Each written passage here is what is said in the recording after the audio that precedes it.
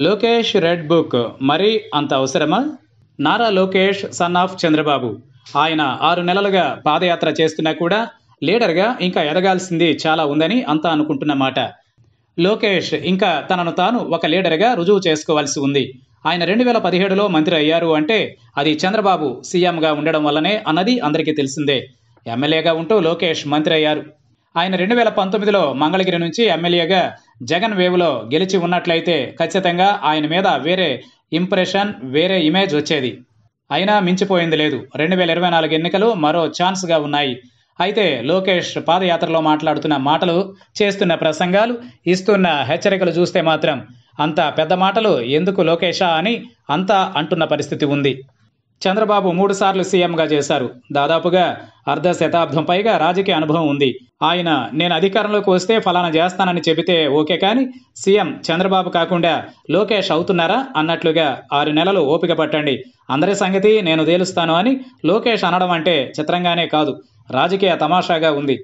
లోకేష్ పాదయాత్ర మొత్తం మీద పేదలకు సామాన్యులకు ఏమి హామీలు ఇస్తున్నారో తెలియదు కానీ వైసీపీ నేతలను అరెస్టు చేస్తామని వారిని జైలు ఊచలు లెక్కబెట్టేలా చేస్తామని అంటున్నారు. ఇప్పుడు మరో మాట కూడా అంటున్నారు. చిత్తూరు జిల్లా ఎస్పీ రిషాంత్ రెడ్డి మీద అదే పనిగా మాటల దాడి చేస్తున్నారు. ఐపీఎస్ని తక్కువ చేసి మాట్లాడుతున్నారు. అంతేకాదు టీడీపీ వస్తే నేను ఆయన కళ్ళకు ఆపరేషన్ చేయిస్తాను అని అంటున్నారు. నిజంగా చంద్రబాబు నాయకత్వంలోని టీడీపీ ప్రభుత్వం వస్తుందనే కంటే నేను అధికారంలోకి వస్తాను అన్నీ నేనే చూసుకుంటాను అని లోకేష్ అనడమే విడ్డూరంగా ఉందని అంటున్నారు. ఇక వారి పని వీరి సంగతి చూడడానికైనా ఈ అధికారాలు? లోకేషా అన్న ప్రశ్న కూడా వస్తోంది. నేను ఒక పుస్తకం పెట్టుకున్న చిట్టా రాస్తున్నా అని లోకేష్ అంటున్నారు. ఆ చిట్టాతో ప్రత్యర్థులను ఎలా శిక్షిద్దామని రాసుకోవడమేనా? లేక పేదలకు ఏమైనా న్యాయం చేసేది ఉందా? అన్న ప్రశ్నలు వస్తున్నాయి. అయినా ఏపీలో టీడీపీలో చంద్రబాబు సీనియర్. రేపటి ఎన్నికలలో చంద్రబాబు అధికారంలోకి వస్తారు. టీడీపీ వస్తే ఈ మేలు చేస్తామని చెప్పాల్సిన చిన్నబాబు అంతా నేనే అన్నీ నేనే అన్నట్లుగా మాట్లాడడం ఒకంత ఆశ్చర్యంగానూ ఉంది అని అంటున్నారు. టీడీపీలో లోకేష్కి పోటీ ఎవరూ లేరు. చంద్రబాబు తరువాత ఆయనే హోల్సేల్ పెత్తందారిగా ఉండవచ్చు. కానీ ప్రజాస్వామ్యంలో నాయకుడు కావాలంటే జనం మద్దతు తప్పనిసరిగా ఉండాలి. లోకేష్ అది మర్చిపోతున్నారని అంటున్నారు. ముఖ్యంగా భాష చూసుకోవాలి.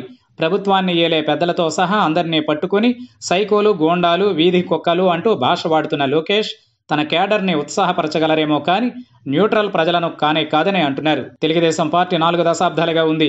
అందులో తొలి పదమూడేళ్ళు ఎన్టీఆర్ జమానా అయితే మిగిలినదంతా చంద్రబాబు ఏలుబడిగానే ఉంది.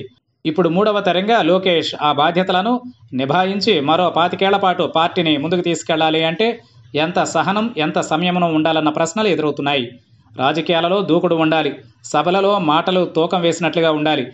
విమర్శలు కూడా చేసే విధానంలో చేయవచ్చు. కానీ లోకేష్ మాత్రం బ్యాలెన్స్ తప్పుతున్నారనే అంటున్నారు. ఇక ఓపిక లేదు. అందరికీ వడ్డీలతో సహా చెల్లిస్తామని లోకేష్ పదే పదే అనడం ద్వారా కక్షలను తీర్చుకోవడం కోసమే అధికారం కావాలని అడుగుతున్నట్లుగా ఉంది. మరి దీనిని ప్రజలు ఎంతవరకు ఆమోదించి అధికారాన్ని ఇస్తారన్నది గుర్తుపెట్టుకోవాలి. ఇక వ్యవస్థలో అధికారులు ఉంటారు. వారు విధులను నిర్వహించే విషయంలో ఇబ్బందులు వచ్చినా వారిని సైతం రాజకీయ నేతల మాదిరిగా పదే పదే విమర్శలతో చీల్చి చెండాడితే టోటల్ వ్యవస్థకే పార్టీని దూరం చేస్తున్నామన్న విషయాన్ని మర్చిపోతే ఎలా లోకేష్ అన్న సూచనలు వస్తున్నాయి. ఇక వ్యవస్థలో అధికారులు ఉంటారు. వారి విధులను నిర్వహించే విషయంలో ఇబ్బందులు వచ్చినా వారిని సైతం రాజకీయ నేతల మాదిరిగా పదే పదే విమర్శలతో చీల్చి చెండాడితే టోటల్ వ్యవస్థకే పార్టీని దూరం చేస్తున్నామన్న విషయాన్ని మర్చిపోతే ఎలా లోకేష్ అన్న సూచనలు వస్తున్నాయి. చిన్నబాబు పాదయాత్ర కొలమానం నాలుగు వేల కిలోమీటర్లు కావచ్చు. కానీ ఆయనకు ఉన్న టీడీపీ బాధ్యతలు రాజకీయ ప్రయాణం సుదీర్ఘమైనది. అది పాదయాత్ర కంటే కోటి రెట్లు అత్యంత కఠినమైనది. అందువల్ల యువ నాయకుడు జాగ్రత్తగా అడుగులు వేస్తే ఆయనకు టీడీపీకి మేలైన రోజులు అన్న సంగతి మరవరాదు అంటున్నారు హితైషులు.